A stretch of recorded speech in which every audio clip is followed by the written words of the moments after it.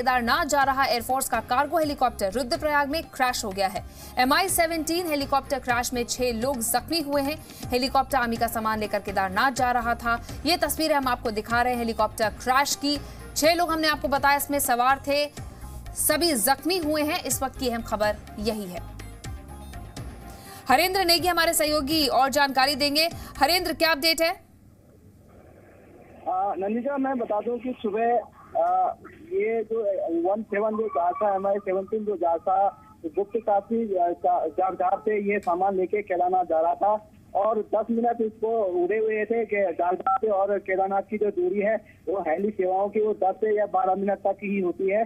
जैसे ही ये helicopter helipad की ओर जा रहा था वैसे ही क्रैश हो गया। इसमें जो, जो छह लोग थे वो जख्मी हुए हैं। जब जो सूचना प्राप्त हुई है नीम के नीम के सूत्रों से तो उन्होंने बताया है कि छह लोग इसमें सवार थे। ये सामान लेके जागदार से केदारनाथ आ रहा था और ये सुबह की घटना है सवा आठ बजे की घटना है।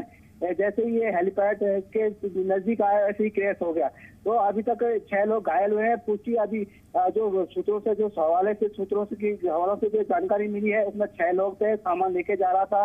घायल है, घायलों को निकाला जा रहा है। अब उनको कहाँ भेजा जाएगा जो ज़्यादा जख्मी है, कैसे है इसकी पुष्टि अभी जिलाधिकारी ने नहीं की है, क्योंकि हेली के केदारनाथ काफ़ी दूर है और केवल हेली सेवाओं से ही वहाँ अगर किसी को उपचार के लिए लाना है तो हेली सेवा ही वहाँ भेजी जाएगी और उसके बाद उनको घायलों को लाया जाएगा। किस तरह से ये कारण होगी, अभी पुष्टि नहीं हो पाई है कि कैसे, किस कारण से ये, क्या विजिबिलिटी कम थी, क्योंकि केदारनाथ में जो पल पल मौसम होता है, वो बदलता रहता है। कभी बारिश होती कभी बर्फबारी होती है कभी फॉग हो जाता है तो निश्चित तौर पर कुछ न कुछ कारण हो गए कि, कि किस तरह से ये घटना घटी क्योंकि हेलीकॉप्टर के माध्यम से ही एमआई ट्वेंटी सिक्स से भी वहाँ सामान गया है वन सेवन से भी सामान गया है तो निश्चित तौर से कुछ न कुछ दुर्घटना ये घटना घटी है और उसके कारणों की पुष्टि अभी जब जिलाधिकारी से बात बात होगी कि किस कारण से ये हुआ है उसके बाद ही पता चलेगा। जी नवीन बिल्कुल, हरेन तो बेस कैंप से संपर्क में होंगे। जैसा कि आपने बताया कि सिर्फ़ हेलीकॉप्टर के ज़रिए ही जल्दी वहाँ पर पहुँचा जा सकता है।